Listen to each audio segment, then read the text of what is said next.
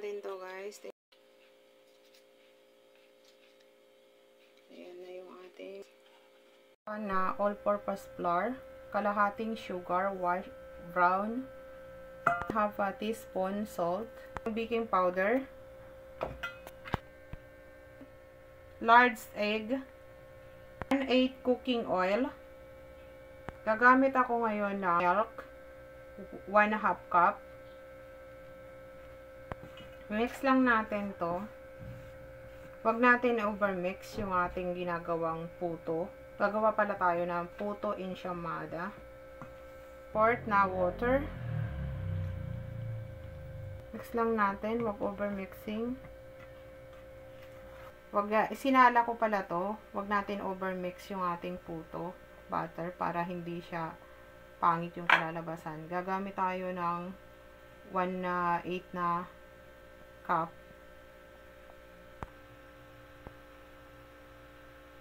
Yan, dalawahin natin ganito. Yan, ganito. Tig 1-4. Ulitin ko lang lahat hanggang sa matapos. Na ang ating ano, i-steam na natin to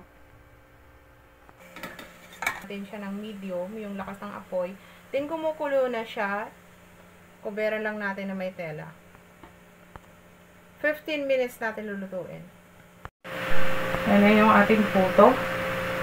Temperature na butter. Kalahati dun sa isang buo. Pag wala kayong ganitong uh, mixer, guys, pwede naman yung ano, normal na pinito. Tatlong kutsarang powder sugar. Mix lang natin to.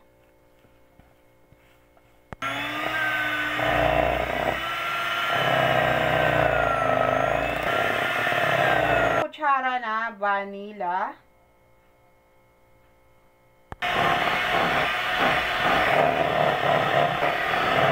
Natin butter. Lang natin dito.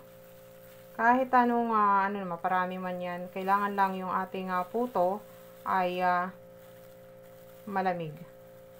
Para hindi siya malusaw. Or pag wala tayong ano, or kutsara. Kutsara ang gagamitin natin. Ito, may uh, ano tayo. Ilalagay lang natin tong uh, cheese in the top. Gawin yung ganito lahat. Cheese. Ito nga pala yung ginagawa ko. Ayan, ulitin lang natin lahat. Ayan na yung ating puto enchimada. Kung gaano kaganda yung ating paggagawa ng ating puto enchimada. Saman natin to.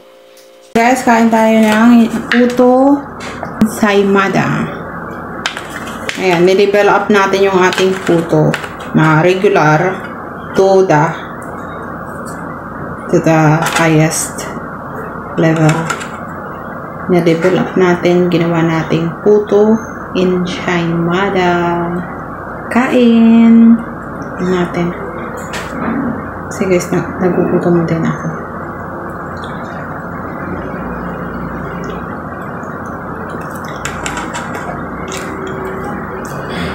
Yummy niya. Ito yung puto. Tama lang yung kanyang tamis. Hmm. Fluffy yung puto. Maganda yung texture ng ating puto, guys. Hmm. Hindi pala ito normal na yung puto.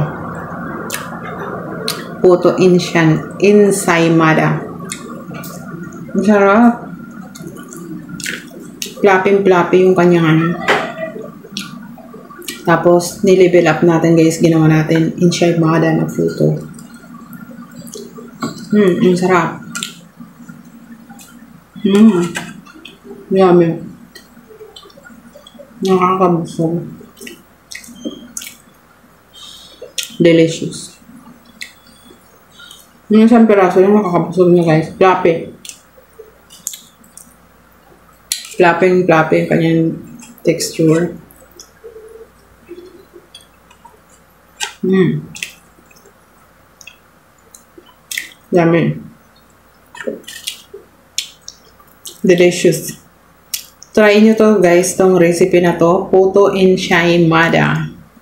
Ang sarap niya at fluffy yung kanyang texture ng kanyang puto. At tama lang yung tamis, hindi siya matamis. Thank you guys for watching. Please subscribe to my YouTube channel and follow my Facebook page. If you buy something, click the yellow basket in my TikTok shop. Thank you. Bye all.